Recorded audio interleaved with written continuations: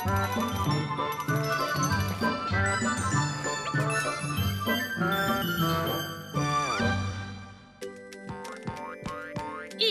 е за интеграција.